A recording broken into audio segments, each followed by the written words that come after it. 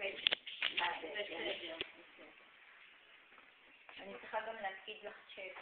מה? היום אני צריכה להפקיד צ'ק שלהם. לא כבר לא. אה, אז מחר מפקיד? מחר יום אה, שבת. ראשון.